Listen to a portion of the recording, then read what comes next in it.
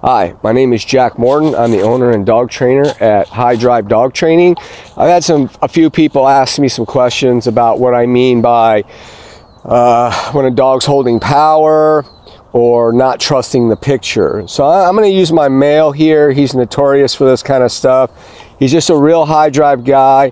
Uh, he, he likes to be in control of things. So I'm going to show you what I mean by not trusting the picture and then uh, having a dog that's holding power. So this is Kaiser. Sit. Down. As you can see, when he did that down, he's still holding power.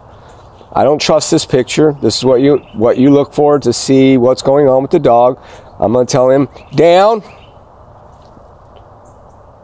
down. There we go. That's a good picture, and that he just